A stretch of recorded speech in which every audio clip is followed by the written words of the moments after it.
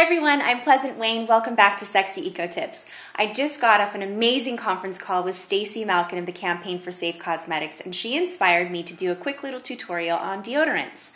We want to avoid using antiperspirants because our bodies need to sweat, so use deodorants. What we need to be using is deodorants that don't contain any chemicals or toxins or carcinogens. Those are including uh, aluminum chlorohydrate and propylene glycol, which are used in most of the commercial products. So I found two really great lines that are organic and toxin free, and I want to share those with you today. The first one is Mill Creek Botanicals. You can find them at millcreekbotanicals.com.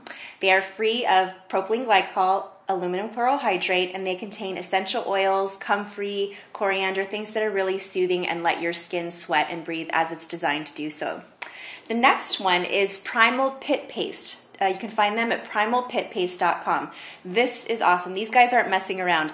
They use raw shea butter, coconut oil, aluminum free baking soda, arrowhead root, and other essential oils to keep your underarms smelling great. So be sure that the deodorants that you're using every day don't contain those nasty chemicals. We want to avoid those altogether. And enjoy. Thanks for watching.